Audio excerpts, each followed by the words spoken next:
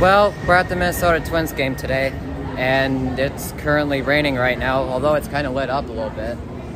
And um, the first pitch doesn't start till 2:15, so by a few hours we could maybe get the uh, get the game started. Um, I'm not sure, so we're gonna go. We're going to go get something to eat right now. So uh, fingers crossed, and uh, see you guys in a little while.